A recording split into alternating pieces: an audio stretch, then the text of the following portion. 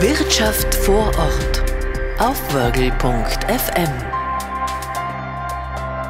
Herzlich willkommen zu einer neuen Ausgabe Wirtschaft vor Ort. Und heute haben wir uns den Mario Mattes eingeladen von Il Gusto di Mario. Ist ja wie die Faust aufs Auge.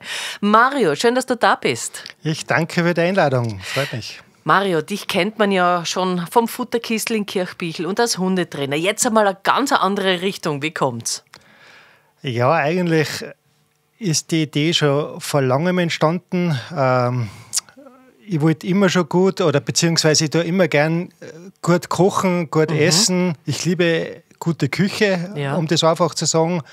Allem voran italienische Küche und äh, thailändische Küche. Ja. Und wie kommt es jetzt auf die italienische? Natürlich, der Bezug zu Italien ist da sehr nahe, sage ich jetzt einmal. Mhm. Jeder kennt es, jeder, sage ich jetzt einmal, liebt diese Küche. Äh, das Land ist schön, die Leute sind toll, äh, ja, es passt einfach alles. Mhm. Und wir haben da in der Nähe eigentlich nichts in dieser Qualität, in dieser Auswahl. Und das war jetzt genau das, äh, wo ich mich für das entschieden habe. Mhm. Einfach das Futterkistel zu erweitern auf das. Ja. Ich bin ja ein Würgler und äh, genau, und wollte eigentlich schon lange im Würgel was machen und das hat mhm. sich jetzt einfach so gegeben, ergeben ja. im City Center drinnen und ja, wir haben einen Mods mhm. damit. Schön.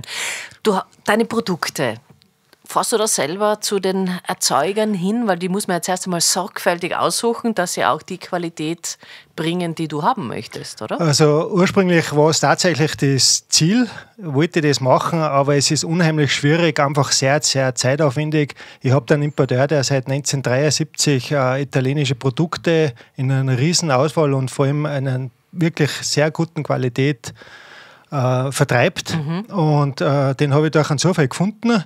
Natürlich ist alles auch ein bisschen ein Glücksspiel gewesen, sage ich, dass man äh, was bestellt man her, passt die Qualität, das war mir natürlich ganz, ganz wichtig. Und die trauen wir heute sagen, äh, einfach auch von den Feedback. Wir haben jetzt schon über 2000 Kunden gehabt vor Ort, äh, die bestätigen das. Wir haben viele Stammkunden schon gewinnen können. Und mhm. also wir sind überzeugt, dass wir da den richtigen Weg einschlagen. Und ja. Mhm. Kann ich mir das so vorstellen, wie wenn ich in Italien reingehe und äh, da, da gibt es ein bisschen Salami zum Kosten und da gibt es ein bisschen an, an Käse, dann gibt es vielleicht äh, noch einen Prosciutto dazu, dann gibt es ein Tartuffi, also alles Mögliche bei dir zu haben. Ja, genau. Und so, wie du das jetzt schon sagst, also tatsächlich, dann wir sehr gerne und äh, des Öfteren verkosten. Ja. Also wir haben da schon einen direkten Kontakt zu dem einen oder anderen Bauern bzw. Erzeuger und immer wieder gibt es Kostproben bei uns. Das ist uns mhm. auch ganz wichtig, dass die Leute die Produkte, die guten Produkte auch bei uns probieren können, bevor sie es mhm. kaufen. Mhm.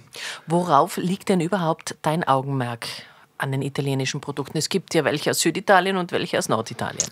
Nein, wir haben eigentlich äh, aus ganz Italien, also wirklich ganz runter bis Kalabrien, Sizilien, äh, aus der Toskana, mhm. äh, natürlich auch von der herum, äh, also von, von sagen wir, Umgebung Gardasee und so.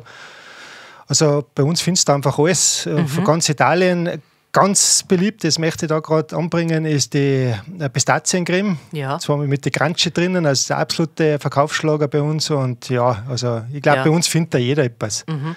Italien hat ja kulinarisch sehr, sehr viel zu bieten. Was magst denn du am liebsten? Oh, am liebsten.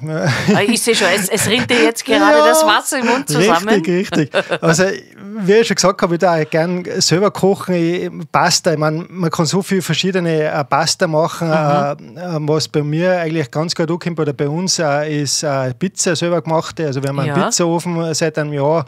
Das heißt, ich kann und, auch zu dir ein bisschen essen kommen? Ja, warum nicht? Okay. Vielleicht machen wir uns dann was aus, ja. zwar.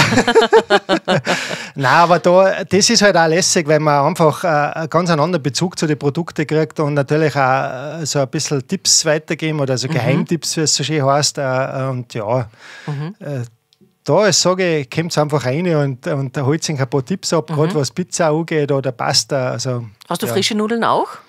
Äh, jein. Also wir haben ab und zu, ich habe leider in der frischen Decke, bin ich ziemlich klein äh, unterwegs. Äh, ja, das, das werde ich vielleicht irgendwann einmal ausbauen. Äh, ja, aber wir haben immer wieder Buffet, Mozzarella, Burrata, vor allem mhm. äh, Salami natürlich, äh, ja. Schinken, wie du schon gesagt hast, mhm. das Zeug haben wir schon da. Ja. Von Trüffel habe ich gesehen, hast du auch und was du hast, ist ein Online-Shop, was ich mir jetzt auch denke, dass da sehr viel Arbeit ist. Der ist sehr viel Arbeit, ja. Das hast richtig äh, recherchiert oder wie auch immer. ähm, ja, äh, Online-Job ist immer so ein bisschen ein Thema, gell. Ähm, man sollte jetzt sagen, äh, sehr aufwendig. Äh, auf der anderen Seite brauchst du natürlich. Ich will ja nicht nur den Würglern äh, die gute Qualität bieten, sondern über das Land hinaus. Also wir haben da schon jetzt äh, zumindest in Österreich ein paar Kunden auch, also österreichweit. Ja, ja. Äh, ja. Die Arbeit ist, bis jetzt ist die Arbeit noch mehr, mhm. als wäre das Geschäft mit einem Online-Job, ja. aber es geht oft schon.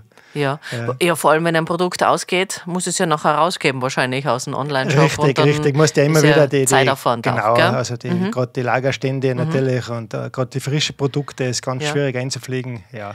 Im City Center ist es ja auch schon, glaube ich, ein sehr beliebter Treff geworden. Ja, also was mich total gefreut hat, das ist, da gibt es einen Mann drinnen, der ist schon seit, boah, ich glaube 40 Jahren, also, oder also 30 Jahren gibt es jetzt das City Center, also seit Beginn drinnen. Und der hat äh, diesen Laden, wir sind ja im ersten Stock, haben ein bisschen versteckt, das Zimmer. Mhm. Äh, der hat den geplant, also mit der Glasfront, wenn wir es haben. Also ich finde, das passt einfach zu uns. Und der sagt, das ist jetzt unser Aushängeschild im mhm. City Center und okay. das haben uns auch schon viele Kunden bestätigt. Äh, ja, also ja. wir haben schon ein bisschen einen Namen jetzt, sage ich jetzt mal. Das heißt, man kann vorne heraus ein bisschen sitzen vor deinem Geschäft. Richtig, du kannst da heraus einen Kaffee trinken. Wir haben aus Neapel ganz einen guten Kaffee.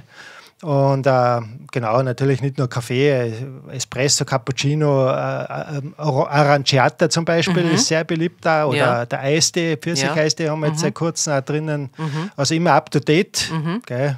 Es ja. gibt ja immer wieder saisonale Sachen und kaufst du dann auch saisonal ein, oder? Richtig. Durch das, dass wir am 1. Dezember eröffnet haben, ja. haben wir auch schon die Orangen gehabt. Die gibt es natürlich nur zu dieser Zeit, wo sie es mhm. auch wirklich ernten. Ja. Also da haben wir ganz einen tollen Bauern, der was nicht mehr ein Lager hat, sondern der dort die ernten und mhm. direkt an uns praktisch liefern. Ja. Ah, das ja. ist schon spannend, oder? Es ist spannend und das ist, äh, wir haben auch immer wieder ein bisschen einen Sortimentswechsel, beziehungsweise äh, wir dann immer das ein oder andere Produkt äh, ausprobieren natürlich. Erstmal, weil ich es selber gern probiere und zweitens mal, weil halt einfach wir den Leuten möglichst viel mhm. Auswahl auch bieten wollen. Mhm. Gell, also Panettone zum Beispiel ist mhm. etwas, was man auch kennt, der Hefekuchen mega gut. Und ja, mhm. ich, also ich, man merkt eh schon, ich, ja. wie du schon gesagt hast, ich kriege keinen Hunger ja. wieder. du hast ja noch äh, deinen, deinen Hund, oder? Richtig. Darf der, auch Giotto, dabei sein? Der Giotto ist immer vormittags dabei, ja, ja. natürlich. Giotto passt auch. Ja, ist natürlich. Auch italienisch. Durch das, dass ich ja äh, bei Ferreira lang im Außendienst war, habe ich da ein bisschen einen Bezug und mhm. er ist ein brauner, äh, genau, ein Dalmatiner und ja, der ist ja. immer dabei und ist auch so ein bisschen ein Publikumsliebling, mhm. sage ich, neben die Produkte. Ja. Hundetrainer hast du ganz lassen? Das habe ich lassen. Also ja. es ist, äh, geht sich zeitlich auch gar nicht mehr aus. Ich stehe allein drinnen im Geschäft. Mhm. Äh, ja, und das, Gott sei Dank, sage ich, ist halt ja. nur gearbeitet. Gell. Also ich habe noch das Futterkistel drinnen, also mhm. wir haben das zweigeteilt auf gut Deutsch äh, mittels Shop-in-Shop-System und äh, eben die italienischen Produkte jetzt und nein, das, mhm. äh, ja, irgendwann muss es genug sein. Ja. Wann hast du offen? Wir haben offen von Montag bis einschließlich Samstag und zwar von Montag bis Freitag von 10 bis 12 Uhr und von 14 bis 18 Uhr und am Samstag von 10 bis 13 Uhr. Mhm. Mario, dann sage ich vielen herzlichen Dank. Il Gusto di Mario im Ist City Center. Einfach einmal vorbeischauen und sich von Mario verwöhnen lassen, kulinarisch. Vielen herzlichen Dank. Schön, dass du heute da warst. Danke, danke. Ciao. Wirtschaft vor Ort auf wörgl.fm